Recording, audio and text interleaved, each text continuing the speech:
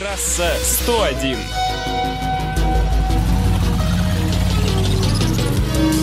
Приветствую, в эфире трасса 101. Владимир Сметанин не нарушает. Почти.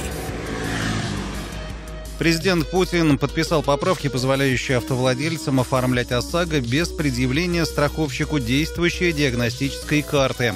Данная норма будет работать до конца сентября. После этого в течение месяца гражданин обязан будет пройти техосмотр и предоставить карту в страховую компанию.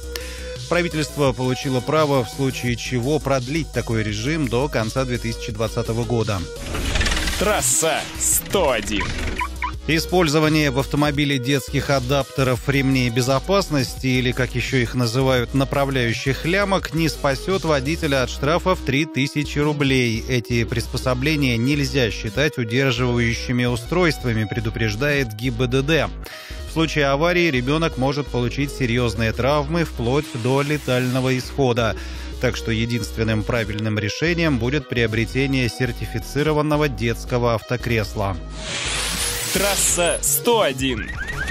Вот и подоспели результаты очередного исследования, сколько российских автомобилистов не покупают ОСАГО. Ни много ни мало 20%, сообщает РИА Новости. Причем в крупных городах тех, кто ездит без автогражданки, немного поменьше.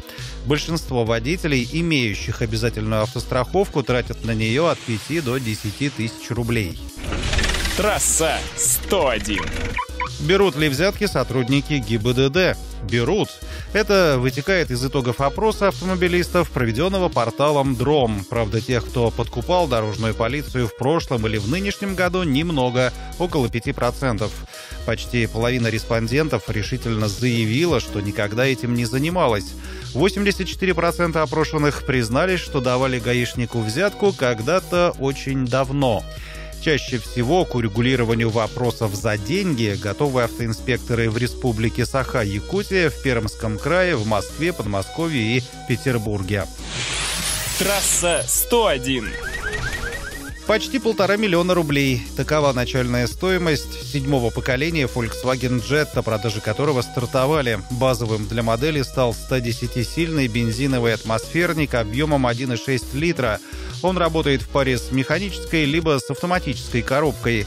В более дорогих версиях присутствует 150-сильный турбомотор объемом 1,4. Трансмиссия только автомат.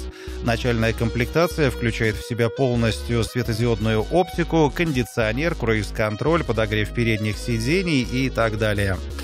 На этом все. Вопросы и комментарии оставляйте на сайте Эхо Кирова. До свидания. Трасса 101.